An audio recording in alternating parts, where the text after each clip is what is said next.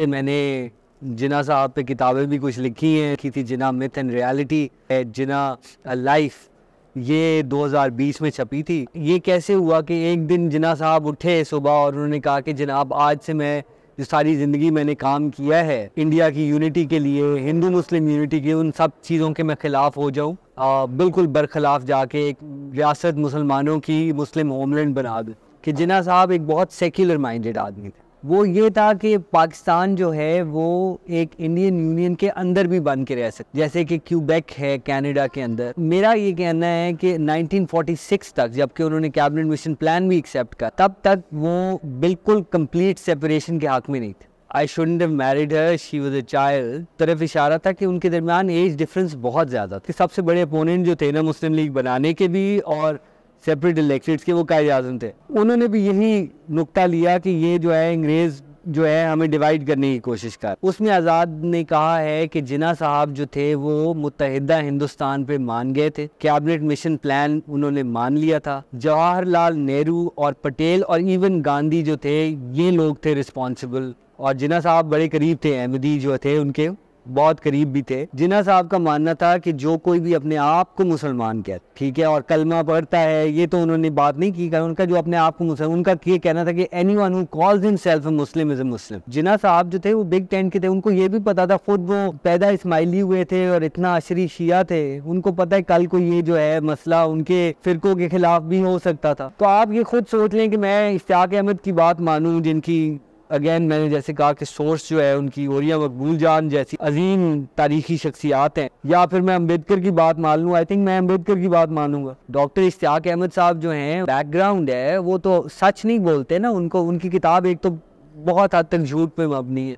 और वो ही जो मजलिस से हैरात थी, जो जिना साहब को काफिर आज़म कहती थी। देखिए, मेरा नाम यासिर लतीफ़ हमदानी है, मैं एक बैरिस्टर हूँ। काफ़ी अरसे से मैंने जिना साहब पे किताबें भी कुछ लिखी हैं, जिसमें से एक पहले लिखी थी जिना मिथ एंड रियलिटी और अब ये जो बुक है, जिना लाइफ ये 2020 में छपी थी। तो आपका जहाँ तक ये सवाल है कि जिना पे क्यों लिखना था आई थिंक उसमें ये था कि जी मैं आई वॉज़ स्टडिंग अब्रॉड और वहाँ काफ़ी जो है मुझे इंटरेस्ट पैदा हुआ टू अंडरस्टैंड कि हमने पाकिस्तान बनाया क्यों। और उसमें यह भी मुझे एक इंटरेस्ट जो हुआ, पैदा सवाल, ये जो सवाल उठा वो ये था कि ये क्या हुआ कि कायद अज़म मोहम्मद अली जिना जो कि अपनी 40 साल पॉलिटिकल करियर में से 30 साल तक वो यूनिटी ऑफ़ इंडिया के एक बहुत बड़े दाई थे, वो किस तरह टर्न अगेंस्ट हुए और उसी यूनिटी के और उन्होंने पाकिस्तान, ये कहानी कुछ समझ नहीं आती थी। अगर आप इस पर गौर करेंगे मतलब इसमें इस चीज़ के अंदर कोई वो नहीं था कि ये कैसे हुआ कि एक दिन जना साहब उठे सुबह और उन्होंने कहा कि जनाब आज से मैं जो सारी ज़िंदगी मैंने काम किया है आ, इंडिया की यूनिटी के लिए हिंदू मुस्लिम यूनिटी के उन सब चीज़ों के मैं ख़िलाफ़ हो जाऊँ और मैं जो हूँ उसके आ, बिल्कुल बरखिलाफ़ जाके एक रियासत मुसलमानों की मुस्लिम होमलैंड बना दूँ। तो ये चीज़ जो थी मुझे बहुत ज़्यादा इंटरेस्ट करती थी और दूसरी आपको मैं बात बताऊँ कि मेरा ये भी व्यू है जो कि मैं किताब में भी एक्सप्रेस कर चुका हूँ with basis of course in primary sources कि जिना साहब एक बहुत सेक्युलर माइंडेड आदमी थे। और सेक्युलर माइंडेड आदमी होने का आ, मत, मतलब ये है कि वो रियासत में मज़हब का नहीं चाहते थे वो। इसलिए कि वो समझते थे कि हर बंदे को उसकी मजहबी आज़ादी भी होनी चाहिए और उसको इक्वल राइट्स भी होने चाहिए। तो ऐसा बंदा फिर उसको आप पाकिस्तान की आज की जो हकीकत देखें वो ये है कि हम अनफॉर्चुनेटली हम एक थियोक्रेसी हैं। ठीक है? मैं आर्ग्यू आर्ग्यूबल है कि हम थियोक्रेसी हैं कि नहीं है, लेकिन कम अज़ कम हम जो यहाँ पाकिस्तान में रहने वाले गैर मुस्लिम हैं, उनको वो इक्वल राइट्स नहीं देते जो जिना साहब पहले थे और जिन, जिसका उन्होंने प्रॉमिस किया था।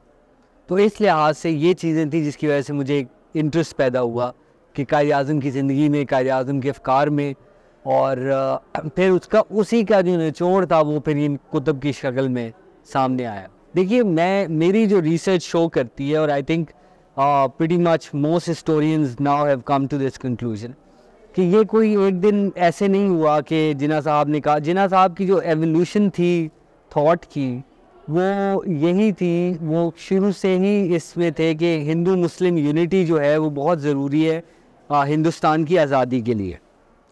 अच्छा उसको इवॉल्व करते हुए एक आइडिया जब जो कि उनके मुस्लिम कंस्टिट्यूंट्स थे उनको बहुत ज़्यादा ये एप्रीहेंशन थी कि जो आपके आ, जो हिंदू मेजॉरिटी है वो उनके political and cultural rights and economic rights को जो है वो उसके ऊपर असरअंदाज होगी।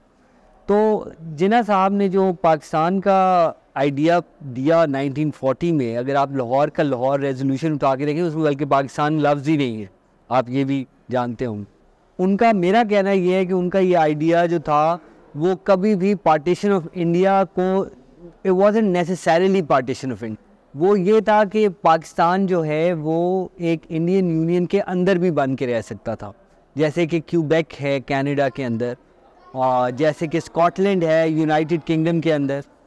तो ये सारी चीज़ें जो है, ये हमारे सामने ये कायद अज़म के एज ए वकील एज ए स्टेट्समैन सामने थी। और ये सारे मॉडल्स उन वो उनको सामने रखते हुए वो पाकिस्तान को विद इन इंडिया एक अटोनमस रीजन चाहते थे। तो वो मेरा ये कहना है कि 1946 तक जबकि उन्होंने कैबिनेट मिशन प्लान भी एक्सेप्ट कर लिया तब तक वो बिल्कुल कंप्लीट सेपरेशन के हक में नहीं थे। वो ये चाहते थे कि एक ओवरऑल इंडियन यूनियन हो और उसी के अंदर पाकिस्तान जो है एक बड़ा सू, बड़े सूबे के तौर पे हो। स्टैनली वोल्पर्ट ने अपनी किताब को लिखते हुए उस, उसने लिखा था एक बड़ी इंपॉर्टेंट बात लिखी थी। जिना को समझने के लिए आपको जिना का जो अर्लियर पैशनेट पीरियड था इंडियन यूनिटी का वो समझना बड़ा ज़रूरी है। तो मैंने कोशिश जो इसमें की है मैंने दो तीन चीज़ों को कंबाइन करने की कोशिश की है। एक ये कि जिना का वो अर्ली पीरियड जो था वो कितना इम्पोर्टेंट था कितने वो पैशनेटली इंडियन यूनिटी के लिए स्टैंड किए कितना उन्होंने पैशनेटली एडवोकेट किया हिंदू मुस्लिम यूनिटी के लिए। ये सारी चीज़ें ला के देन आप वो कैसे वो एवोल्यूशन हुआ कि उन्होंने मुसलमानों की बात करनी शुरू की और वो आगे लेके चले? तो आई थिंक जो डिफरेंस है वो ये है कि मैंने, देखिए स्टैनली वोल्पर्ट लिख रहे थे एज एन अमेरिकन जिन्होंने सारे लीडर्स को पढ़ा था और सारा कुछ। मैं ये लिख रहा हूँ, मेरे लिए ये एक पॉलिटिकल एक्ट है। देखिए मैं I am as a Pakistani very deeply dissatisfied with the condition of Pakistan right now मेरे ख्याल से ये कायद अजम के जो अपने आइडियाज़ थे उसके भी ख़िलाफ़ है और I think as a Pakistani हमें we should be very very apprehensive of the direction that the country is taken minorities के लिहाज से इसके अलावा भी आप देख रहे हैं uh, यहाँ we made Pakistan killing field in name of Islam right तो हमें मेरे, मेरी जो कोशिश इस किताब के थ्रू है और उससे पिछले वाली के थ्रू भी थी, वो ये थी कि कम अज़ कम हम जिना साहब के वो आइडियाज़ क्रिस्टलाइज करें। क्योंकि देखिए, कह दिया जाता है, ये बड़ी आजकल फैशनेबल चीज़ हो गई है कि जिना साहब जो हैं, उन्होंने कुछ लिखा नहीं। हालाँकि जो लोग अगर वो उठा के देखें, जो जिना पेपर्स हैं, जिसमें उनकी तकारीर और उनके राइटिंग्स हैं, वो बिल्कुल सारा ब्लू प्रिंट भी देते हैं और एक क्लियर क्रिस्टलाइज्ड आइडिया देते हैं कि वो चाहते क्या थे आखिर। तो वो चीज़ें जो हैं, मैंने, मेरा जो इसमें रिलायंस है इस किताब में, वो इंटायरली ऑन प्राइमरी सोर्सेज है। I haven't gone by other sources I just gone by primary sources जिसके अंदर न्यूज़पेपर्स हैं, जिसके अंदर जिना पेपर्स हैं। तो उसके हिसाब से I have tried to craft this book देखिए आई थिंक उन्होंने कहा था कि I should married her she was a child वो असल में उनका इस तरफ़ इशारा था कि उनके दरमियान एज डिफरेंस बहुत ज़्यादा था। देखिए, रति जो थी, मैं generally I I would say कि रति जो थी, उनका इन्फ्लुएंस जिना साहब पे बहुत ज़्यादा था। और she was a very intelligent person तो लेकिन चूँकि एज डिफरेंसेस और टेम्परमेंट में इतना ज़्यादा एज डिफरेंस और टेम्परमेंट जो था, वो इतना मुख्तलिफ़ था तो उसकी वजह से जिना साहब ने ये स्टेटमेंट दी थी और ये गालिबन स्टेटमेंट उन्होंने ये कोटेड भी है शीला रेड्डी की किताब में। तो मैं ये कहूँगा जहाँ तक रति का ताल्लुक देखें वो पारसी थी, वो एक इंडियन नेशनलिस्ट थी। The reason why she was attracted to Jinnah this reason why she join Jinnah married Jinnah later on was of his conviction and commitment to Indian nationalism तो मेरा तो ये कहना है कि अगर रति जो है वो ज़िंदा रहती तो शायद जिना साहब जो हैं वो पाकिस्तान के या मुसलमानों के सिर्फ़ लीडर हो के ना रहते, वो सारे हिंदुस्तान के लीडर ही बन के रहते। और दूसरा ये है कि जहाँ उनका ये कहना कि मैं ब्लंडर किया, वो इसलिए कि उनकी शादी में बड़े मसाइल रहे। और शायद अगर वो वो ये समझते थे कि, कायद अजम ये समझते थे कि मैं, अगर मैं ना शादी करता तो शायद ये एक ट्रैजिक जो ट्रैजिक उसके एंड है वो शायद ना होता। क्योंकि वो देखिए बहुत ट्रेजिडी में एंड हुई है शादी। She died very early on तो ये चीज़ें थी जिसकी वजह से उन्होंने इसको ये डिस्क्राइब किया। है जी देखिए बात ये है कि मुस्लिम लीग जो थी आ, अगर उन्होंने ये कहा देखिए मैं पहली बात तो ये कहता हूँ बिल्कुल ठीक है। ठीक है? दूसरी बात ये है कि कांग्रेस को बनाने वाले भी अंग्रेज़ थे 1885 में जब कांग्रेस बनी ये ओ ह्यूम ने बनाई। अंग्रेज़ी, अंग्रेज़ों की गवर्नमेंट ने खुद बनाई कांग्रेस पार्टी।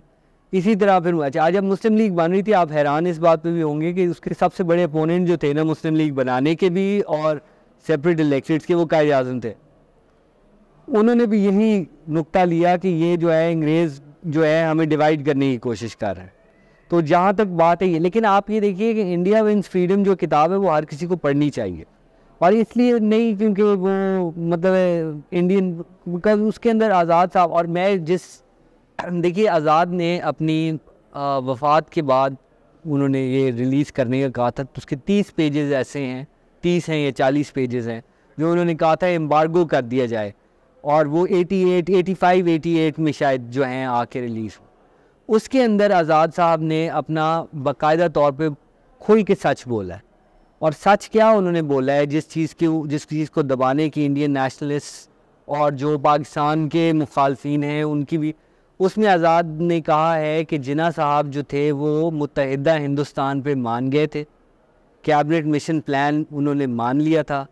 जवाहरलाल नेहरू और पटेल और इवन गांधी जो थे, ये लोग थे रिस्पॉन्सिबल और ये मौलाना आज़ाद के मुँह से बात ये आना बहुत बड़ी बात है, अगर आप ये देखें। क्योंकि मौलाना आज़ाद जो थे, वो कांग्रेस के सबसे जो बड़े टोकन मुसलमान थे, वो वो थे ना? उनके और प्रेसिडेंट थे। उनको प्रेसिडेंसी से हटा दिया गया। ये भी आपको पता होगा। उनको, वो प्रेसिडेंट से हट गया उन्होंने कहा, मेरा हिमालयन ब्लंडर ही सेज कि मैंने जो है ना जवाहरलाल नेहरू को प्रेसिडेंट नामजद किया अपने बाद। वो कहते हैं, मेरा हिमालयन ब्लंडर था ये। क्योंकि जवाहरलाल नेहरू ने फिर क्या किया? उन्होंने कहा कि मैं कैबिनेट मिशन प्लान की जो ग्रुपिंग क्लॉज है, जो कि नब ऑफ़ द मैटर था, जो बेसिकली पाकिस्तान को ऑटोनमी देता था विद इन यूनाइटेड इंडिया वो उस ग्रुपिंग क्लॉज को मानने से उन्होंने कहा था, मैं नहीं मानूँगा। उनकी जो फ़ेमस स्टेटमेंट है, जुलाई नाइन्थ की गालिबन वो वो किताब इसलिए पढ़ी जानी चाहिए क्योंकि उसमें दो, एक तो ये वो मान रहे हैं कि पाकिस्तान जो है, जो बनाने वाले लोग जिनको क्रेडिट किया जाता है या ब्लेम किया जाता है मतलब depending on which point of view you take Jinnah sahab जो थे वो मान चुके थे, वो कॉम्प्रोमाइज़ कर चुके थे, वो अग्री कर चुके थे, और ये कांग्रेस पार्टी थी जिसने कहा, नहीं, हम ये नहीं कॉम्प्रोमाइज़ मानेंगे.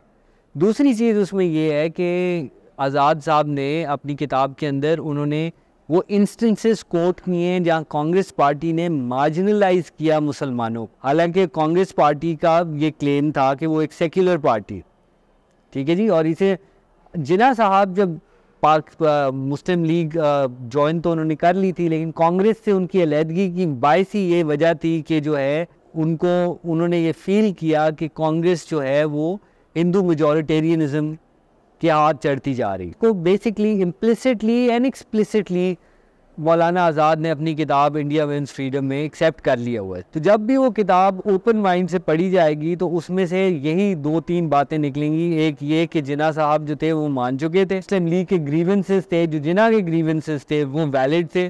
क्योंकि कांग्रेस ने अपने ही लोगों के साथ जो ट्रीटमेंट की, मुसलमानों के साथ भी, और ना सिर्फ़ मुसलमानों के साथ भी सेक्युलर कांग्रेस ने पारसियों के साथ भी ये ट्रीटमेंट रवा रखा।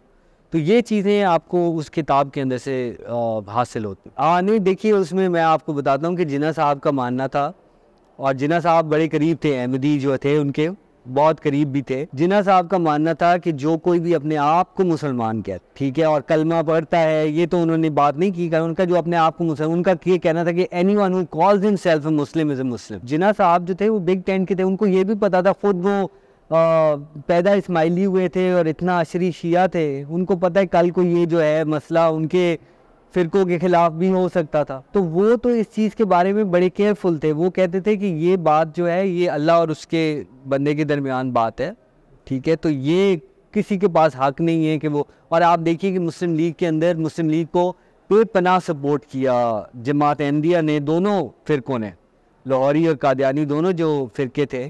उन दोनों ने उनको बहुत ज़्यादा सपोर्ट कि इस चीज़ को मद्देनज़र रखते हुए जो हमने पाकिस्तान में अहमदियों के साथ किया है, और बारहा मतलब उसमें, आप ये देखेंगे कि चौहत्तर की जो अमेंडमेंट हुई है ना, उसके आप वोटिंग लिस्ट उठा के देख लें। जो जो लोग पाकिस्तान बनाने के मुखालिफ थे ना, कांग्रेस के साथ थे, उलमा भी थे, और उसमें आप ये देखिए कि वली खान और जो सो कॉल्ड सेक्युलर नेशनलिस्ट हैं आपके नैप वाले ये सारों ने अहमदियों को काफिर डिक्लेयर करने के लिए वोट डाला, जो कि इनके जो बड़ा क्लेम है कि ये सेक्युलर हैं, वो मतलब उससे जायल हो जाता है ना, अगर आप देखें। तो बात ये है कि ये जो चौहत्तर की अमेंडमेंट है ना चले मैं इस पर नहीं जाता कि उसकी रिलीजियस मेरिट क्या है, लेकिन जिना साहब के जो आइडियाज़ थे, उसके बिल्कुल बरखिलाफ। तो ये आज इस किताब में मैंने लिखा है, मैं ये भी आपको बताता चलूँ कि जिना साहब को लंदन से वापस सब कॉन्टिनेंट लाने वाले अहमदी थे तो ये मेरी उस जगह पे जाने का इतफाक़ भी हुआ है।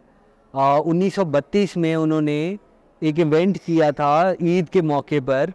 उनकी जो, अब यहाँ पाकिस्तान में तो आप मस्जिद भी नहीं कह सकते उसको, लेकिन उनकी जो इबादत गाह थी, जिसको लंदन में बहरहाल मस्जिद कहा जाता है, मस्जिद अल या बैत फजल, उसके अंदर उन्होंने किया। वहाँ उन्होंने जिना साहब को बुलाया और वहाँ का जो उनकी इबादत गाह का जो रिलीजियस लीडर था, पता नहीं उसको इमाम कह सकते हैं कि नहीं कह सकते, वो उस, उसने कन्विंस किया जिना साहब को कि आपकी ज़रूरत है हिंदुस्तान के मुसलमानों को, आप वापस जाएँ और उनकी हेल्प करें। तो वो वाली जो चीज़ है, ये बहुत सारे लोगों को बहुत बुरी लगती हैं बातें, लेकिन ये हकायक हैं। ठीक है जी, देखिए, बात ये है कि अल्टीमेटली पाकिस्तान का जो मुकदमा दिया गया बाउंड्री कमीशन के सामने वो जिना साहब ने इंटरेस्ट किया है जफरुल्ला खान को जो कि फिर खुद एक अहमदी तो आप ये देखिए कि ये ये ये सिचुएशन होते हुए जो हमने किया है पाकिस्तान में कंटिन्यूसली इस कम्युनिटी के साथ हमने वो सेक्टेरियनिज़म की बेसिस डाली है उसकी बे, बेसिक ग्राउंड वर्क किया है जिसकी वजह से आप देखेंगे कल के बाकी फ़िरकों को भी ये मसला लाक होगा। तो ये हमें बहुत ज़रूरत है आज कि हम वो कायद अज़म के औरिजिनल अफकार की तरफ़ जाएँ और हम ये डिसाइड करें कि self identification is the key जी जी, कायद अज़म का देखिए, बड़ा क्लियर व्यू था। और देखिए, लंबी उनकी जो है बेलफोर डिक्लेरेशन के टाइम से उनका एक पॉइंट ऑफ़ व्यू था। 1947 में और जब ये इसराइल की सारी बात चली तो उन्होंने एक बड़ी सिंपल सी बात की। उन्होंने कहा, यहूदियों के साथ बहुत जुल्म हुए हैं जर्मनी में। तो इसराइल जो है, ये जो भी रियासत आपने यहूदियों को जूश होमलैंड बना के देना है, वो आप जर्मनी में बना के ये क्या बात हुई कि आप तमाम के तमाम उनको यूरोपियन जूस को आप उठा के लेके जाएँ और सेटल करें पैलेस्टाइन बेसिक प्रिंसिपल पे जो है था देखिए, वहाँ वो बिल्कुल ये स्टैंड करते थे और ये मसला तब उठा जब लोगों ने ये पॉइंट आउट किया कि आप लोगों ने भी तो मुसलमानों के लिए अलग वतन लिया तो जफरुल्ला खान जो कायद अजम की नुमाइंदगी कर रहे थे और पाकिस्तान की, उन्होंने यही कहा, उन्होंने कहा, देखिए, हमारे जो मुसलमान थे, जिनके लिए हम कर रहे थे, वो इसी खत्े के रहने वाले थे मोर और लेस सब कॉन्टिनेंट के रहने वाले थे ना, उनको किसी और जगह से ला के प्लेस तो नहीं किया गया दूसरा उनका ये कहना था कि हम इक्वल सिटीजनशिप देते हैं। उस वक्त पाकिस्तान देता था इक्वल सिटीजन इक्वल सिटीजनशिप देते हैं। आप वहाँ, जो आप जिस जूश होमलैंड की बात कर रहे हैं, वो एक डिस्क्रिमिनेटरी रेसिस स्टेट है। तो इस चीज़ पे वो अपोजिशन वही मैं आपको कह रहा हूँ ना, इसलिए उसका जो कंडीशन है, वो ये है कि वायबल स्टेट होनी चाहिए। ये क्या बात हुई कि आपने पहले यूएन पार्टीशन प्लान को, जिसके खिलाफ थे by the way UN partition plan को भी आपने रिजेक्ट किया से भी लिया, और फिर आपने जो है सेटलर कॉलोनीज बनानी शुरू कर दी हैं वेस्ट बैंक के अंदर। तो ये सारी बातें सामने रखते हुए अगर वायबल पैलेस्टीनियन स्टेट बनती है, तब इसराइल को रिकग्नाइज कर लेना जो हो सकता है पॉसिबल हो। तब तक पाकिस्तान करेगा भी नहीं। ये हमारी फॉरेन पॉलिसी जो है, ये जिना साहब ने जो सेट की थी, वहीं जफरुल्ला खान साहब ने जो की थी और ये उसी पे हम कायम हैं और हमारा बड़ा प्रिंसिपल स्टैंड है, उसी पे रहना चाहिए हमें। पहली बात तो ये कि किताब जो है, वो देखें, उसकी आप रेफरेंसेस आगे उठा के देख लें। दिस एब्सोल्युटली आपको उसकी सोर्सेज से पता चल जाएगा, जो बंदा ओरिया मकबील जान को एज ए सोर्स कोट कर रहा हो वो आई थिंक uh, उसकी बुक में क्या मेरिट होगा वो आप खुद ही जानते हैं। देखिए बिल्कुल ऐसी कोई दुरुस्त बात नहीं है इसमें कोई ज़रा सा भी सच नहीं है। अंग्रेज़ बिल्कुल ये चाहते थे कि यूनाइटेड इंडिया कायम हो। कॉन्ट्री टू वो वो समझते थे कि उनकी सबसे बड़ी लेगेसी होगी। बफर स्टेट उनके नज़दीक अफ़गानिस्तान ऑलरेडी एग्जिस्ट करता था। तो ये जो थ्योरी है, ना ये किसी जियो पोलिटिकल उसमें बैठती है और ना जिना साहब देखिए मैं आपको बताता हूँ डॉक्टर बी आर अंबेडकर थे, जिन्होंने इंडिया का कॉन्स्टिट्यूशन लिखा, जो दलित के सबसे बड़े लीडर थे। उन्होंने अपनी किताब पाकिस्तान और पार्टीशन ऑफ़ इंडिया लिखी और उसके अंदर उन्होंने इस चीज़ को कि, इस चीज़ को एड्रेस किया कि कुछ हिंदू हैं जो कहते हैं कि अंग्रेज़ों का वो है ये। उसमें उन्होंने कहा कि जिना साहब के बारे में आप जो भी कह लें, जितना बुरा भला भी कह लें, उनके जो वेस्ट एनिमीज़ हैं, यानी कि गांधी, नेहरू वगैरह, वो भी इनको ये अक्यूज़ नहीं कर सकते वो अंग्रेज़ों के हाथ मोर हैं, कि never be accuse of being a tool in the hands of the British they, ये लफ्ज़ हैं डॉक्टर बी आर अंबेडकर। उन्होंने कहा कि there is no politician to whom the world incorruptible more fittingly applies in the subcontinent यानी कि उसमें गांधी नेहरू वगैरह सारों से उन्होंने कहा कि इनसे ज़्यादा incorruptible doctor B R Ambedkar ने कहा। तो आप ये खुद सोच लें कि मैं इश्ताक अहमद की बात मानूँ, जिनकी अगेन मैंने जैसे कहा कि सोर्स जो है, उनकी ओरिया मकबूल जान जैसी अजीम तारीखी शख्सियात हैं, या फिर मैं अंबेडकर की बात मान लूँ आई थिंक मैं अंबेडकर की बात मानूँगा। ठीक है, जो कि जिना साहब को जानते थे, जो जिना साहब के क्रिटिक थे।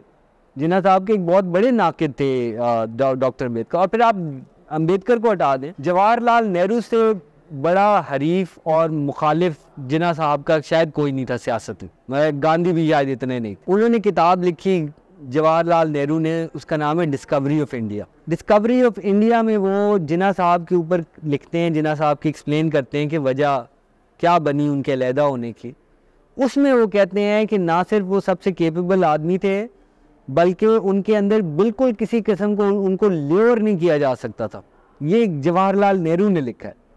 अच्छा गांधी लिखते हैं कि वो कम्प्लीटली इनकरप्टेबल तो जिस शख्स के बारे में उनके सबसे बड़े मुखालफी ये लिख रहे हो उसके बारे में आज जो है एक यू नो एक I am sorry to say doctor Ishtiaq Ahmed sahab जो हैं उनका आ, अपना जो बैकग्राउंड है वो तो सच नहीं बोलते ना उनको उनकी किताब एक तो बहुत हद तक झूठ पे मबनी है। उन ये बताते नहीं हैं कि उनके वालिद साहब मजलिस एरार के लीडिंग रहनुमा थे। ये भी फिर करें ना मतलब for interest conflict of interest तो बताएँ ना अपना कि क्या वजह है। जिसकी वजह से वो मजलिस एरार की तारीफ़ें करते हैं, हालाँकि मजलिस एरार से ज़्यादा bigoted anti bigoted sectarian anti Shia anti Ahmadi party कोई नहीं थी। और वो जो मजलिस एरार थी, जो जिना साहब को काफर आज़म कहती थी, उसके मुजाहिद अव्वल का लकब इनके वालिद साहब को था। तो ये उनका सारा का सारा जो पॉलिटिकल जिस पॉलिटिकल आइडियोलॉजी से वो आते हैं इश्तियाक साहब वही उनका, देखिए किताब जो उनकी है सक्सेस एंड फेलियर्स ये जो है जी, इसको मैं कहूँगा मेलाफाइड किताब। अफसोस ही कर सकता हूँ जो लोग इसको सीरियसली लेते हैं, वो कोई सीरियस हिस्टोरियन या सीरियस पॉलिटिकल साइंटिस्ट जो है उस किताब को मानने के लिए तैयार नहीं होगा मेरे ख्याल। देखिए अभी तो मैं कुछ थोड़ा सा वकालत में मसरूफ़ हूँ लेकिन मैंने मुझे एक बहुत ज़्यादा इश्तियाक हुआ। अब पता नहीं ये लफ्ज़ इस्तेमाल करना चाहिए। नहीं लेकिन मुझे ज़्यादा शौक़ है इस वक्त। देखिए जिना साहब ने जब जब कमाल था तो हुए ना आ, उनकी वफ़ात हुई तो जिना साहब ने कहा कि वो सदी के सबसे बड़े मुसलमान लीडर। तो मैं असल में आप ये देखना चाह रहा हूँ कि कमाल तुर्क और कमालिज्म का जो इफ़ेक्ट है, सब कॉन्टिनेंट के मुसलमानों पे और ख़ासकर पाकिस्तानी नेशनल मूवमेंट के ऊपर, वो मैं अब स्टडी करना चाह रहा हूँ। तो मैं किताब अनकरीब होपफुली लिखूँगा और कमाल तुर्क की बायोग्राफी भी होगी वो और आइडियोलॉजी के ऊपर एक थीसिस होगा। देखिए, बात ये है कि सेक्युलर स्टेट जो है इंडिया नेसेसरली तो नहीं थी, पहली बात ये। असल मसला देखिए हाँ जो मुसलमान जिन्होंने इस मुल्क के लिए कुर्बानियाँ दी, ये नहीं चाहते थे कि इस मुल्क को बनने के बाद आप जो है, बाकी लोगों पे जुल्म करना शुरू कर दें। ठीक है? उसमें से अक्सरियत ये भी नहीं चाहती थी कि यहाँ ऐसा निज़ाम कायम हो कि वो जो है, देखिए जो आपके उलमा हजरात थे, वो सारे के सारे पाकिस्तान बनाने के ख़िलाफ़ सवाल ये नहीं, सवाल ये है, मेरे ख्याल से, कि क्या आपके ख्याल से एक इस्लामी रियासत जो है, आजकल की मॉडर्न ज़माने में ट्वेंटी फ़र्स्ट सेंचुरी में, क्या वो ऐसी रियासत हो सकती है जहाँ फोर्सिबली जो है शरीयत नाफिज की जाए ऊपर से? इस पर इलामा इकबाल का भी एक व्यू है।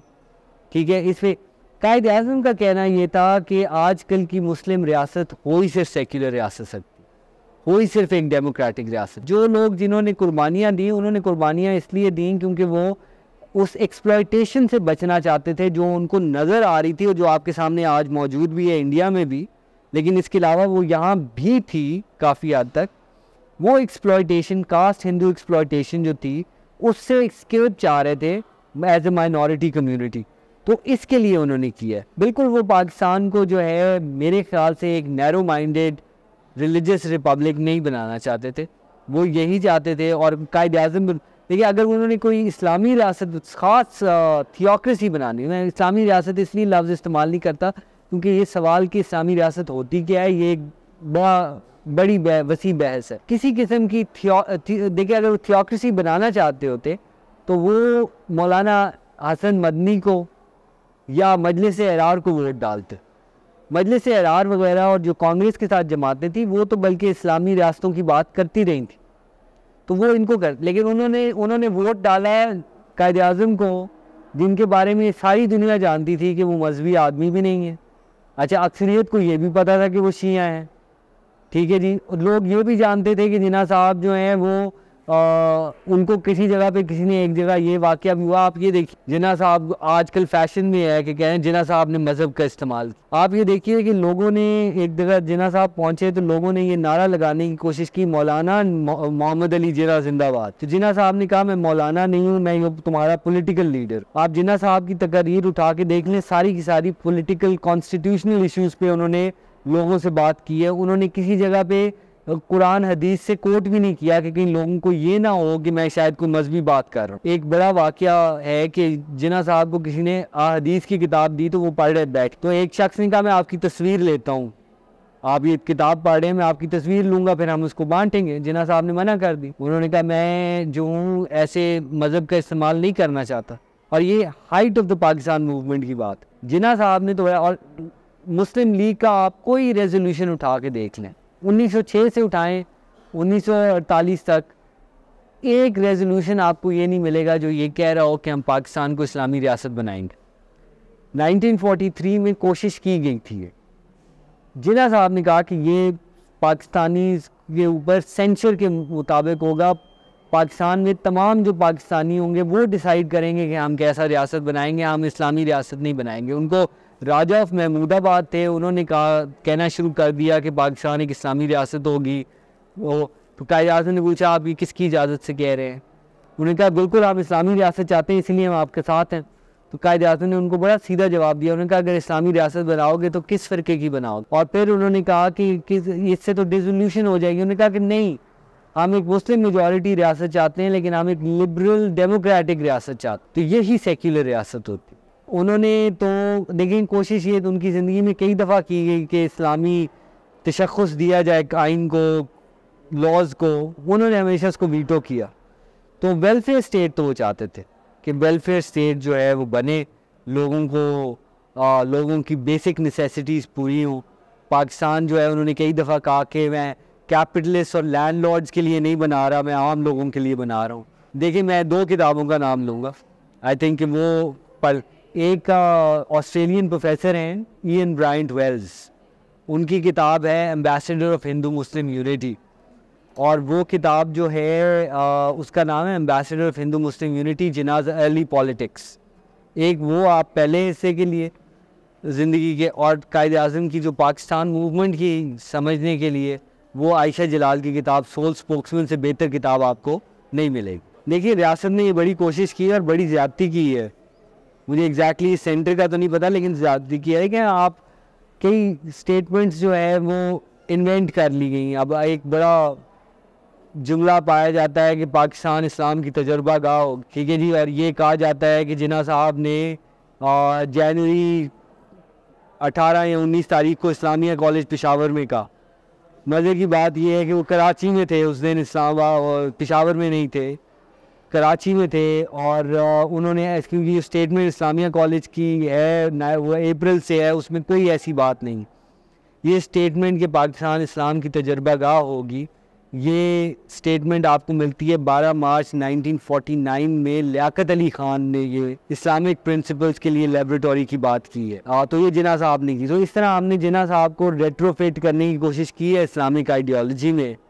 और ये हमने ज्यादती की है। I think this was this was this was something he would never approve of God से उसकी अगर आप तकरीर पढ़ें नथुराम गॉड से की। तो वो यही कहता है कि uh, गांधी जो थे इन्होंने क्यों जो है इतने आराम से मान लिया पाकिस्तान बनना। तो वो इसको पैट्रिसाइड कर लेकिन मेरे मेरा ये मानना है कि जो गांधी साहब ने 1900 बिल्कुल लिजिटिमेटली वेल इंटेंशनड हो कि जो उन्होंने राम रजिया की बात की थी ना, और जो उन्होंने हिंदू रेटरिक और लैंग्वेज यूज़ की थी Hindu religious language Ram Raja की सबसे पहले बात जो है, वो गांधी ने की थी। तो वो जो रिलीजन इन पॉलिटिक्स लाने का ओरिजिनल सिन था ना that is what led to his because वो नथुराम गॉड से वगैरह उस चीज़ से इंस्पायर्ड और वो ही फिर अल्टीमेटली हिंदू महासभा और सारी चीज़ें जो हैं, ये वो रिलीजन की मिक्सिंग देखिए जो सब कॉन्टिनेंट का सबसे ओरिजिनल सेन है ना, वो ये mixing of religion and politics है, जो मजहबी टच देना है। ये सबसे पहले गांधी ने दिया। और मैं आज भी इस बात पे कायम हूँ कि जिना साहब ने जब मुसलमानों की बात की, तब भी उन्होंने मजहबी टच देने से इज्तनाब किया। उन्होंने कहा कि मैं आपकी पॉलिटिकल राइट्स की बात कर रहा हूँ आपके इसकी बात कर रहा हूँ, मैं किसी मजहबी बात, कोई मजहबी बात नहीं कर रहा। ठीक है जी? तो ये जब तक आप इस चीज़ को नहीं रोकेंगे तो Gandhi unfortunately was a victim he his own petard as it were तो आई थिंक ये है मेरा कहना इसमें। आई थिंक जिना साहब we have to hark back to Jinnah we have to go back to him जो उन्होंने बातें की थी, पहली हमें बहुत समझने की ज़रूरत है कि पाकिस्तान बनने के क्या महरक़ात थे। वो I think we will have to understand Pakistan बिल्कुल भी नहीं कर रहा फॉलो मैंने जैसे अहमदियों की बात की, लेकिन इसके अलावा आप देखिए कि हमारे मुल्क के अंदर जो गैर मुस्लिम हैं, वो सदर या वज़ी अजम नहीं बन सकते. हालाँकि कायद अजम ने 10 अगस्त 1947 को 11 अगस्त से एक दिन पहले माउंट बैटन को ख़त लिखा था और उस माउंट बैटन को ख़त में ये कहा था कि आप अपने जो ओथ्स हैं जो आपने पाकिस्तान के लिए किए हैं ओथ्स ऑफ़ ऑफ़िस उससे आप उसको सेक्युलर ओथ कर दें। आप अफर्म कर दें स्वेयर की जगह और आप गॉड को रेफरेंसेस को ख़त्म कर दें। यानी कि कायद अजम ऐसा पाकिस्तान चाहते थे, जहाँ अगर किसी का कोई भी मज़हब नहीं है, चाहे वो एथियस्ट है अगर वो केपेबल है और लोगों के हाथों इलेक्ट हो के आ जाता है तो वो उसको, उस मुल्क की हुकूमत करने का बिल्कुल उसको चांस होना चाहिए। तो मेरे ख्याल से सबसे ज़्यादा जो डिस्क्रिमिनेशन है, वो वहाँ से स्टार्ट होती है, जहाँ से आप ये डिसाइड करते हैं कि आपका मुल्क का सदर या वज़ी अजम जो है, सिर्फ़ मुसलमान हो। तो ये चीज़ चेंज करने की ज़रूरत हमें ये ओथ्स में से रिलीजन निकालने की ज़रूरत है। जब तक आप ये नहीं करेंगे, आप you will stay on the wrong side of history so that is my message